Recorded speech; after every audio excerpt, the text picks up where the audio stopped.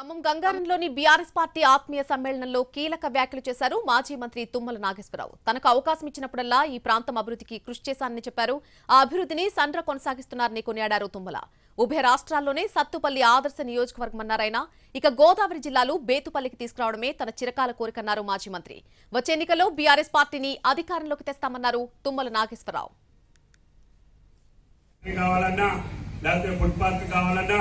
ఈ నియోజకవర్గానికి నాకు శక్తి ఉన్న కాడికి రహదారులు కావాలన్నా జాతీయ రహదారులు కావాలన్నా నాకు అవకాశం వచ్చినప్పుడల్లా ఈ ప్రాంత అభివృద్ధికి ఇప్పటికి నా విశ్వాసం ఏంటంటే ఉభయ రాష్ట్రాల్లో కూడా ఒక ఆదర్శవంతమైన నియోజకవర్గం ఒక సంప్రదాయం కలిగినటువంటి నియోజకవర్గం సొంతపల్లి అని చెప్పి కూడా మీకు ఈ సందర్భంగా మనం చెప్తున్నాం.